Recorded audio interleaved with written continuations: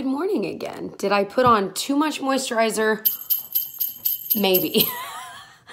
okay, let me tell you, I was like on a mission today. You're gonna laugh at me when I tell you how many layers I put on. I'm just experimenting, but this is too much. Okay, uh, first thing I started with, I did like a hydrating essence. I think it's like the Caudalie essence. I'll link all these below. It's in my bathroom. I put that on my face after my shower, and then I put on the e.l.f. Beauty Shield Vitamin C Pollution Protection Serum or Prevention Serum. I love this stuff. I've got to be almost out. Um, I put that on most days. Anyway, um, then I followed up with the Radiant Glow Face Oil. Then the Soap and Glory Speed Plump Moisturizer. Those were what I was showing you in the other day's vlog. But then I put some SPF on um, just because, well, now I'm realizing I was, I didn't know what I was going to put on my face. If I had realized I was going to do the CC cream again like I did yesterday, I wouldn't have worried about it. But I was putting on the uh, Philosophy Miracle Worker SPF 50, which I like. Um, so I put that on, and then I decided I was going to go mixing these BB creams route like I did the other day. And so here we are. oh, I forgot. Before I put on the BB creams, just for fun, I put on the Becca Backlight Priming Filter. It's a little bit too much. Boy, it is moisturized though. But I've got to like tone this down. We'll see. We'll see. So I'm currently using my Stila Soul palette. Um, so I'll show you my eye look, but I'm wearing this kind of bronzy shade all over. Then this is kind of on top of that. Um, I used this in the crease. That's on my brow bone. And that's also on my lower lash line. Oh, and I threw a little of this on top of my uh, NYX Jolie liner that I'm trying out. I felt like it wasn't black enough, so I threw a little of that on. So that's what's on my eyes right now. So it's not, I haven't put mascara on, but eh. I feel like by putting that gold on top of the bronze, it kind of canceled out a lot of the colors. So now it's just like kind of boring. but I need to put some mascara on. But I'm, I'm not going to do gel liner and liquid liner today. I'm not feeling it. I have like a whole day of meetings somehow. We have one before school. We have one like the last few hours of the day where they have to give me sub substitute teacher coverage. So anyway, for a boring day, I'm gonna do a boring eye look. okay, I am obsessed with this Tarte highlighter. I did end up having hard panned, I think panned, pan um, on it. This is the Tarte Amazonian Clay Highlighter in Stunner.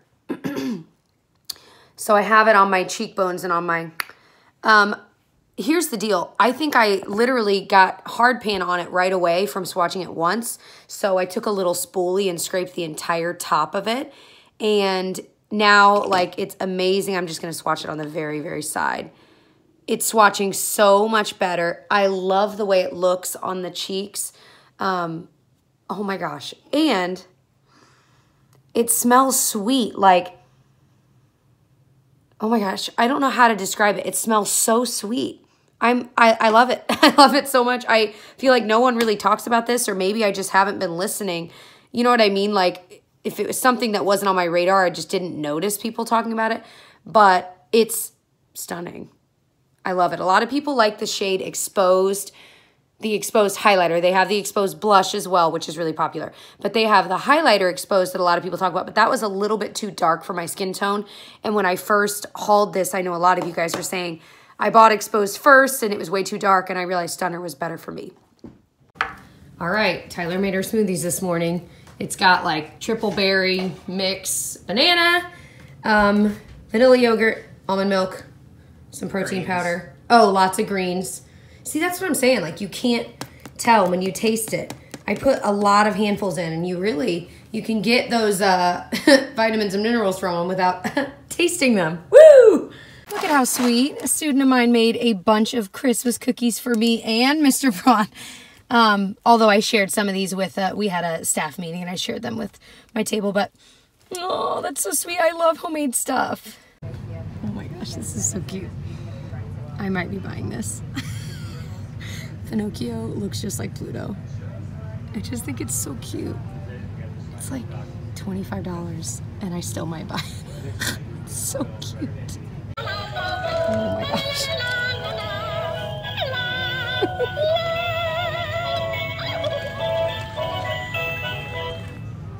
Gosh, that's adorable. So I'm at CVS, and I feel like they never have like the new stuff. Walgreens always does, but CVS never does. Because I feel like I always walk through this and I'm like, mm, nothing new. and then Walgreens has like every new release ever. Look at this boy. Oh, Wolf, one dial. He says, I'm tiny. I'm tiny. I can fit anywhere. No. Just got home from school. Mm-hmm. Came into the bathroom. Sat down because I was like, To wanted pet to him, pet him. yeah. Yeah. And then boom, look at him. Found his way up there. He's yawned five times. You all crazy. Why are you so tired? Your day consists of naps. We play sometimes because I know, was in all I know out. that. But most of his day is sleeping Mostly like any napping. dog. Mostly. Okay, I'll get with level. We're gonna go see a movie tonight. Yeah, I'm gonna see Coco.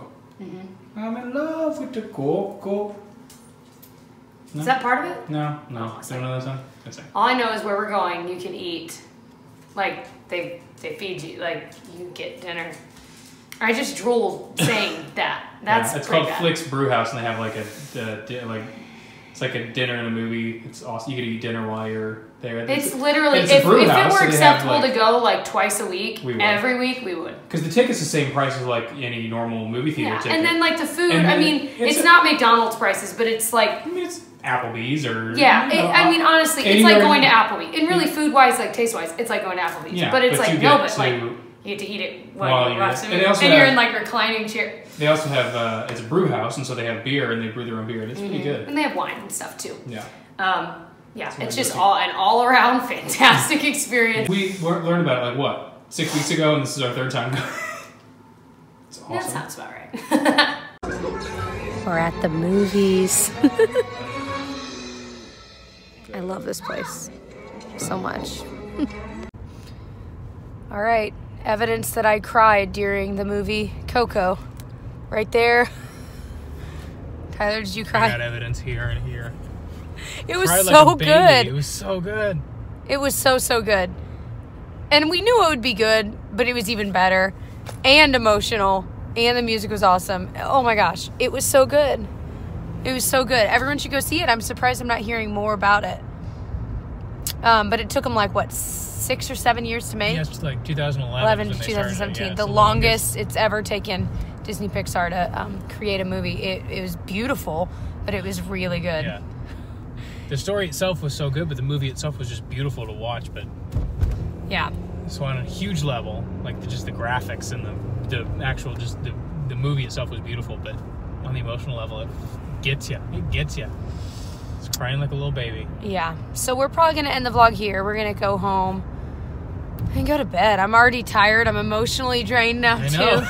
it's so funny. I'm done. So I'm checking out for in the these day. characters I in know. hour and a half, and It's like, amazing. drained. Yeah. So we will catch you guys in tomorrow's Vlogmas. Bye.